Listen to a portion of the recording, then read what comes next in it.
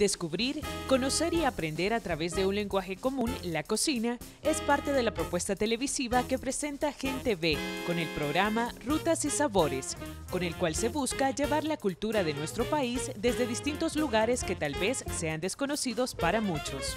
Eh, la propuesta que tenemos es, cocina real, cocina de verdad, cocina sencilla. Eh, algo que uno puede hacerlo en cualquier momento, en cualquier lugar, ya sea al aire libre o en la casa. Y con, sin, sin usar tantos recursos, sin meterse en gastos. Entonces lo que queremos también es demostrar que se puede hacer buena cocina, se puede hacer buena comida, se puede pasarla bien también, eh, con- sin, gastar, sin gastar de más. Gente B le apuesta a proyectos innovadores que contribuyan al desarrollo y difusión de la cultura salvadoreña. A través de Rutas y Sabores conoceremos una diversidad de formas de hacer cocina de forma práctica y económica.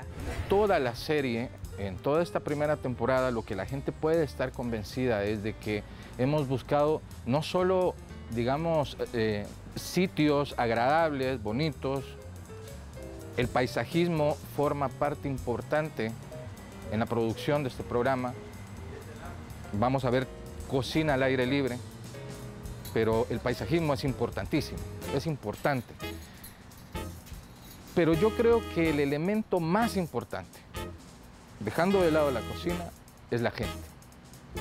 Y es que dijiste una palabra que me parece que es la que nos mueve, es el motor que nos mueve a hacer todo esto al final. Y es sacar a la gente de la invisibilidad. Nosotros vamos a los lugares porque son bonitos, pero esos lugares, si no tuvieran la gente que tiene, pues no serían tan bonitos. Rutas y Sabores le espera todos los sábados a las 7 de la noche por Gente B, Canal 29 en señal abierta y Canal 75 en cable. Una propuesta televisiva que no se puede perder.